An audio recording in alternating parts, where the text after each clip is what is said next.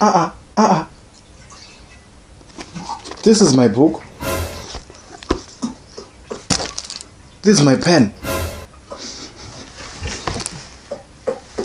This is my office. And you are in my office. I thought I made it clear that if I ever called you back to my office, I would expel you.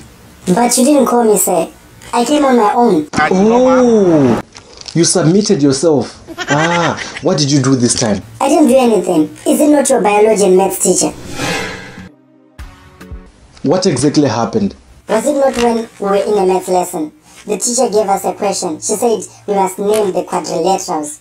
And I named one Sonia, the other one D, the other one Ella, the other one Tom. And she still marked me wrong. J! J! J! Help us! Help us! Yeah, it's good. That is because these are not the correct names. Sir, the question asked me to give names to the quadrilaterals.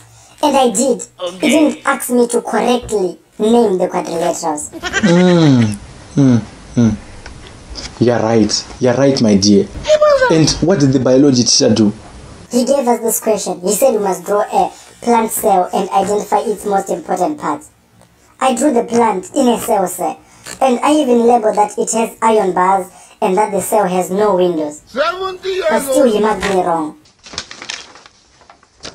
Oh, no, no, no, no.